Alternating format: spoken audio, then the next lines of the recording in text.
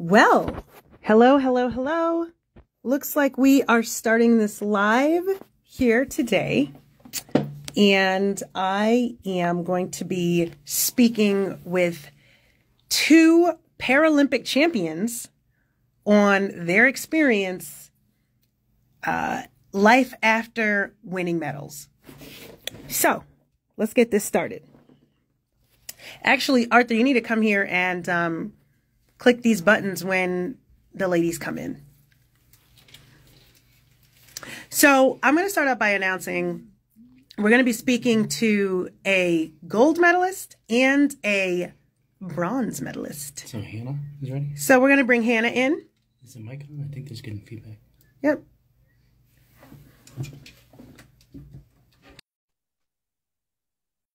Hannah, Hannah, Hannah, you there, girl?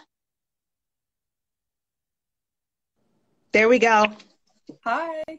Hey, what's up? How are you? Great. How are you? It's so nice to meet you.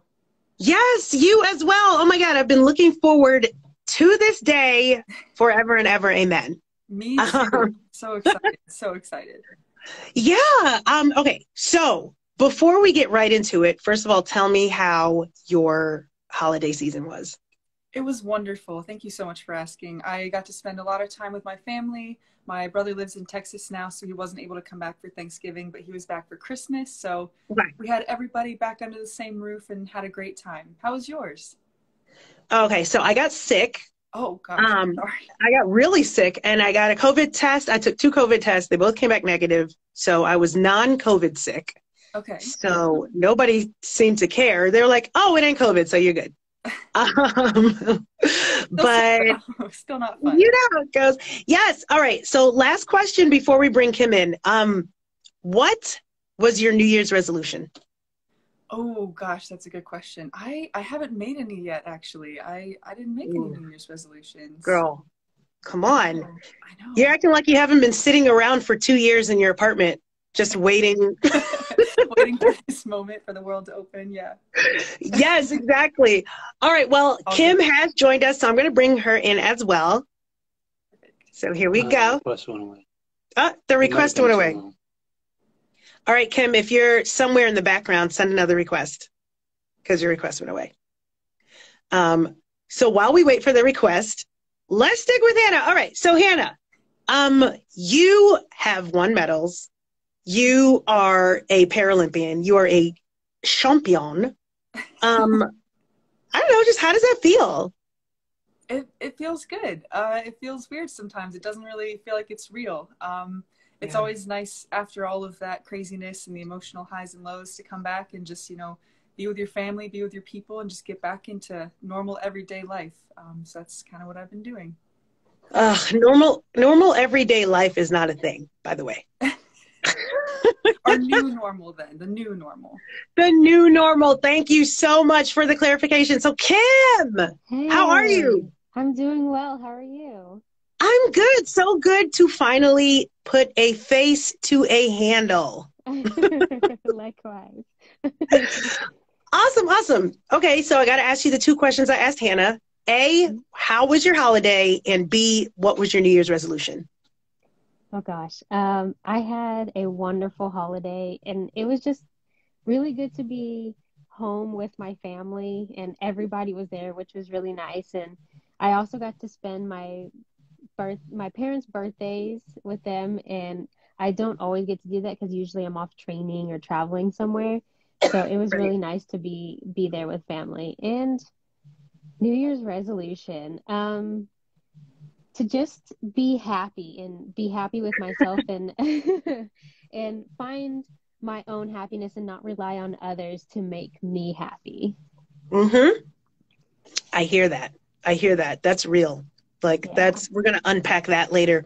Um I want to thank you both for coming on to the live with me today. Um I'm really excited. I am obsessed with the Paralympics.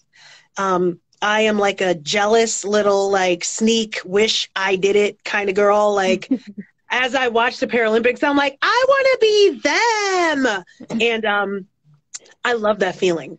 Um, I love that feeling for the dis, you know disability community, um, because what you guys bring, what the what Paralympians bring, is the ability to see pride in disability.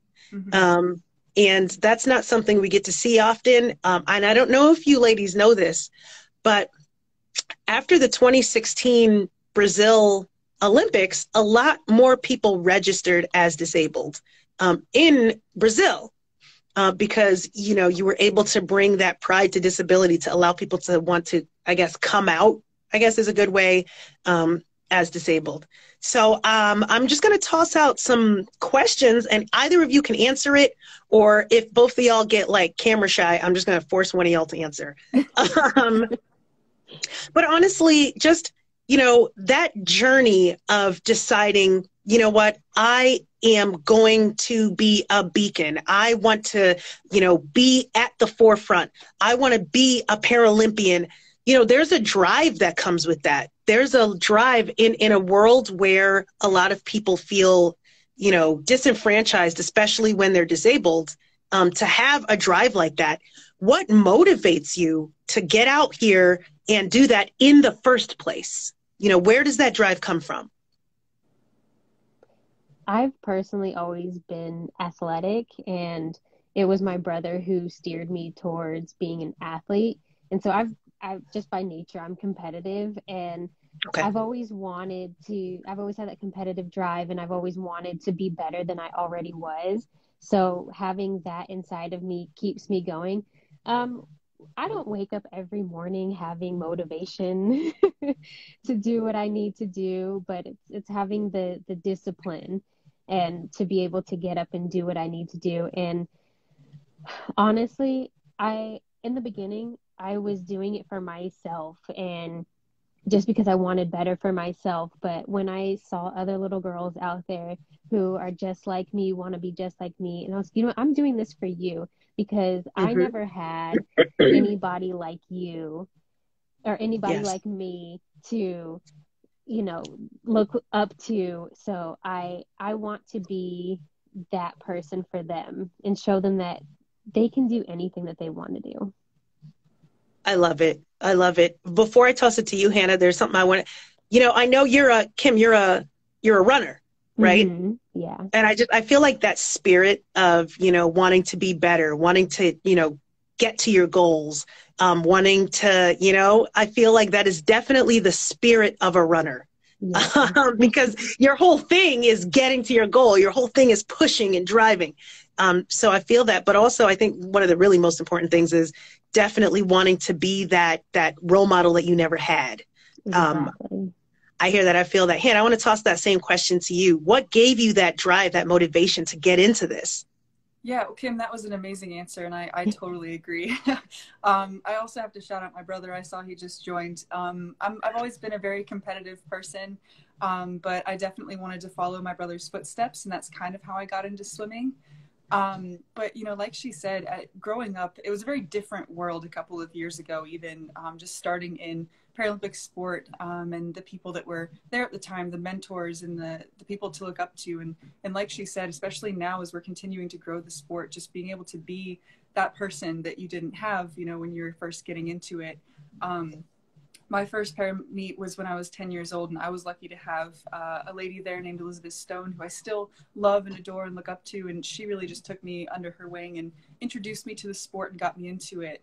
Um, and so now, you know, when you go to these meets and you see all these new kids and the next generation of Paralympics, that's where the motivation and the joy and the, the passion comes from. Just seeing their energy and how excited they are and happy to be there. Um, and the Paralympic community is definitely a very close knit one. It's somewhere that you'll okay. always find that sense of belonging um, when you walk out on a para pool deck, and it's still it's overwhelming at times when you've been, you know, especially with COVID shutting stuff down and not being able to have those experiences. Um, coming back to my first parameet after that was so amazing just because I had missed it so much just walking out and feeling that that unity on that pool deck even if you don't know everyone there everyone's there for the same reasons trying to prove what they can do and challenge themselves in whatever way that they can and chase their own dreams on their own path and I think that's a really beautiful thing about the movement and why I'm so happy to be a part of it. I love that and shout out to y'all brothers. Hell yeah. Yes. Look at these men supporting women. Thank you.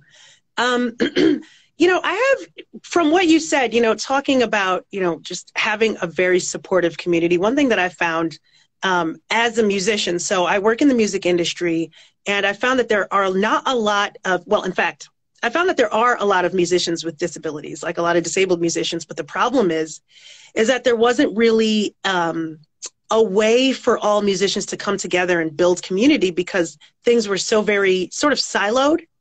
Um, and so I guess the question is this you're in the Paralympics, you're finding this community, but before you joined the Paralympics, how was it to be able to find other people with disabilities? Um, did you feel siloed?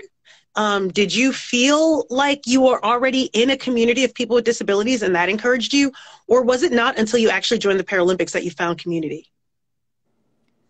That's a great question. Um, when I was growing up, I didn't really know many other people with disabilities. Um, I swam on able-bodied teams. I didn't know many people at school that had disabilities. Or, like you said, it's interesting that you say that after uh, Brazil, I believe that more people in Brazil came out, you know, as disabled, and we're owning up to that, and we're proud of that. Um, and I think that's amazing because, mm-hmm. you know, just a couple of years ago, I don't know that that would have happened. And so, and one of the other interesting things is that I think you mentioned in a podcast recently that there are definitely visible and invisible disabilities. And so I think it's important to recognize both of those.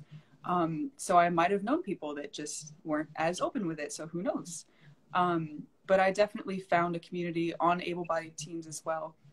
Okay. Um, and wanted to, you know, do everything that they were doing and uh, just be that and not necessarily be seen as different. And so it was always, it was very interesting to me joining the Paralympic community and being surrounded by people that were all different, all facing different challenges, um, and just kind of finding my home there too. I love that answer. Um, I uh, and thank you so much for referencing that. You know, not all uh, disabilities are visible. Um, there are neurodiversities, even folks with deafness, and there are even folks who are uh, visually impaired uh, can come off as uh, not, not having a disability. Um, even folks that are, you know, have mobility differences, uh, sometimes that they are not completely in a wheelchair at all times, and they can also be partially uh, ambulatory. And people need to recognize that that is also a thing. Kym, I have a question for you though. Yeah. So I'm on this mission to get people to want to just say disability, say it, it's fine. Um, and but there's still resistance of people wanting to say differently abled or handicapped or other words to sort of uh, evade actually saying the word disability. Mm-hmm. Um, you know, how do you feel about that? What, where does your empowerment come from as a woman with a disability? And you know, what, what, what is your message to folks about language? I am not offended by anybody saying disability, albino, anything like that. And I encourage people to use those words because it's it's what I am, and I am proud to be disabled. I'm proud to be albino. I'm proud to be blind, visually impaired. However you want to label me, um, you are not going to offend me. So go ahead and use those those describers because it's it is what I am, and I'm proud of it. And um, I, I tend to laugh when people try to say, you know, use their other describers for us, but I'm just like, just say it like it is. Go ahead and feel free to ask us any questions. Like, you are not going to offend me by asking me, why do your eyes shake so much? Why do you turn your head when you try to look at things? Like, I would much rather um, explain this and educate you versus you just making assumptions and just standing there gawking at me the whole time. So I encourage yes. it. Okay, first of all, Kym, you said something that I absolutely love. So when I talk to folks, when I kind of run around and do my sort of speeches at sort of a lot of these corporate places, they they'll they'll ask what is the most important thing we need to know about people with disabilities. And I say ATP. I say, get out your pens and write down ATP. And everybody writes down ATP. And they go, what does that stand for? And I say, ask the person. Mm-hmm. Just ask. It's fine. The water's fine. Um, but before I toss it back to Hannah, Kym, I have another question for you. So, in terms of accessibility, uh, that's definitely something that we have to struggle with as people with disabilities struggle or you know continue to assess and make sure that our needs are met. Um, in terms of the paralympics how has accessibility been handled? Now i know that in recent times there have um, been some really great things that they've done, um, but then there's also been some friction in terms of bringing caregivers and things like that. So, um, how has your uh, experience with accessibility in the Paralympics been? It's not perfect, and I don't think it's ever going to be. Um, yes, uh, it can be handled better, um, and I would like for it to be. And yeah, I may have experienced some rough times not being able to bring somebody to help me or be able to bring my dog to help me either. Um, but honestly, I'm glad that it's me because I feel that I am strong enough to go through this journey and be a voice also to help the ones coming in after me so they can get the accessibility um, things that they need in order for them to travel and and feel safe in their surroundings. So, um, yeah, I would always like it to be better, and I hope it gets better. I hope that I am heard in the things that I tell them, and so we're we're just hoping for positivity going forward. Kym, you are very diplomatic. Um, Hannah, let me give you that same question. I probably have a different perspective on that. I mean, at the same time, yes, it, it can always be better. we can always hope to improve. And like you said, hopefully make it better for the next generation coming in. Um, and, and, you know, going through those different challenges and experiences and using that uh, moving forward to push, push the movement and push for more um, accessibility. I have been okay on most of my experiences. Um, but I know that there are definitely, I've had teammates that have had uh, other other needs that were different than mine. Um, everyone on our team is so so incredibly different on every trip that we go on, and um, we've always had very supportive staff that's done their absolute best to accommodate everyone and make sure that everyone is very safe and taken care of in every way possible. Um, so I think moving forward, we're just going to continue to learn from those different experiences and there's always going to be different people on the team and we're going to have to uh, continue to adapt. Um, and that flexibility is super important i think. Um, so moving forward we'll just keep learning keep growing and uh, hopefully you know keep making it better for the people that come in after us. Nice nice. I love it. Okay hannah here's a here's a fun question for you. It's a trick question. Um, turns out you're also female and uh, you're in sports so that is a whole other thing. One something that a lot of folks don't recognize is that disability is intersectional. Uh, people that have disabilities are not just a disabled person. You can be a disabled woman. You can be a disabled black person. You can be a disabled LGBTQ identifier. Um, and not only are you a disabled woman, but you're a disabled woman in sports. Ah, scary. So, um, tell me how your experience has been as a woman intersectionalized with disability in sports, in in your races, in the Paralympics, or just in life as a as a as a as an athletic woman with a disability. Um, I've always felt very supportive. I, I haven't run into a whole lot of negative things with that. Um, I I love teams where the men and women's teams are very close. Um, I'm at Queen's University in Charlotte, and the whole team here is just very unified in one you know big happy family and obviously we, we have our differences and we do things separate sometimes but on most yeah. of the teams and most of the experiences that i've had um, they've been very positive as far as integrating men and women together, training together, working together towards the same goals, and just working um, as one unit. And I think that's a really beautiful thing to see because um, you know, as as I'm sure you guys may have experienced, it, it doesn't always go that way. Um, yeah. Like said, and so I think um, treating you know men and women equal in sports is obviously an amazing thing to see, and I've been very lucky to have positive experiences with that. Well, that is very encouraging to hear. Um, I want to toss that same question to you, Kym. Um, turns out you are also intersectionalized. So um, please speak to your intersectional experience, especially as um, especially as an athletic person. Yeah, so a little bit different for me. It, I think and I could really see the differences in college and um, how there was I you know I trained with able-bodied athletes and um, I was on my college team and there was a, an athlete on the Olympic side who made it to trials and I mean didn't quite make it but you know they were raving about the fact that he made it to trials and then I made it to trials also for the Paralympics nothing was said I made it to the Paralympics nothing was said. I I got a medal and a little bit was said, but it wasn't, you know. Mm.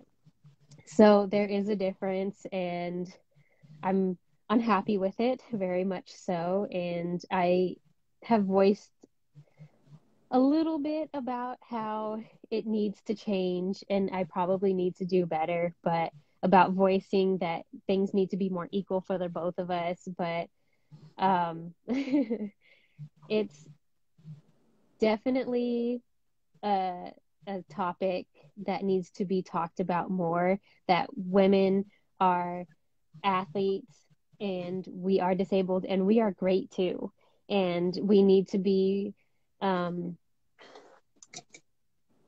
what's the word i'm trying to say um elevated as well. Yes, thank you. I am feeling it. Uh, I mean, you're very passionate and you're very, you know, here for it. And um, I hear you for sure. And uh, I do agree. There's always, I mean, while great things are happening, there's always room for improvement. And um, I got to say, though, the Paralympics is just such a great place for folks with disabilities to look and point at and go and just easily go wow that is amazing. Uh, i feel encouraged or i feel inspired. So i'm really excited about that. Um, y'all busy as hell. So i don't want to keep you guys too long. Um, i'm going to ask y'all a closing question. Um, but before i do the i do want to say one quick little thing um, anyone watching this, my name is Lachi, lachimusic.com, at Lachi Music, L A C H I M U S I C. I'm here with two gorgeous, amazing Paralympians, and uh, I have their self describes and uh, their handles in the description at the bottom. So definitely check them out. They're amazing, as you can see. Uh, one thing I want to ask, challenge the two of you with um, is that I noticed that both of you said able bodied when referring to people who weren't disabled. Um, but I will say that there's been a little bit of pushback within the disability justice community about using the term able bodied uh, because there are people with disabilities who are literally able bodied. Frankly, I would consider y'all both able bodied because y'all assholes can swim and freaking run laps around my ass. Um, ooh, I think this is family friendly. I'm sorry, I'll bleep that out later. But what I'm trying to say is um, we're trying to encourage folks to say non disabled instead of able bodied. So I just want to challenge y'all folks to try to you know throw that into your card of uh, your lexicon and uh, encourage other folks to do the same. So my closing question for each of you is um, for the young. You know, I'm sure y'all get this all the time on all y'all little interviews. Before the young disabled girl that sees you on TV or sees you online and wants to be you, and is feeling unseen, is feeling unheard, and is feeling alone and siloed and doesn't know what to do, but sees you, what advice do you have for her? Um, I'm going to start with you, Hannah. I would just say don't be afraid to advocate for yourself. You are a strong, powerful girl, woman, man, boy, whatever you are. You are very strong and powerful and deserve to be recognized and heard. So don't be afraid to use your voice because everyone does have one um, mm-hmm. and have that confidence. That confidence comes from within. You know, people surround yourself with support, surround yourself with loved ones, people that are going to help you on that journey. And, you know, you'll all be there for each other. And just don't be afraid to chase after your dreams. As cliche as it sounds, everyone's on their own path, but just go after it and don't let anything stop you because um, everyone's facing their own unique set of challenges, whether you're disabled or non-disabled, you know, everyone has their, their challenges to overcome, but don't let that stop you. Keep driving, keep pushing forward, and definitely speak up and uh, help educate other people too. I love that. And I saw you sneak in the word non disabled. You get five points, girl. Hannah, how about you? What do you have to say to the young little mamas watching you right now? Oh, um, gosh, Hannah did such a good job and she kind of stole my answer. Sorry. but I mean, I just want to reiterate that don't be afraid to follow your dreams. And at some points, it will get hard and it's okay. And just know that you are strong enough to overcome anything. As long as you dream hard enough, you can achieve it. And anything is possible. And just be strong. I love it. I want to thank you both for joining me today on uh, this call. Um, you are medalist winners. You are articulate. You are gorgeous. You are accomplished. And I just love surrounding myself with dope ass people. So thank you so much for coming here. Um, and we'll be sharing this um, on my Instagram, on my Facebook. We'll also be uh, pushing this uh, to other platforms. And I want to thank you so much for joining me. Everyone, please check these ladies out. They are bad asses and they are really ruling the world. And I also want to encourage folks to check out the Paralympics period and find other people that you can definitely follow and, and be inspired by. So thank you, ladies, so much. And um, I don't know. I'm gonna be in y'all DMs. Thank you so much for having us this week. Thank you. Awesome. Well, you ladies have a great night, and um, we'll be in touch. All right. Sounds Take care. good. Bye.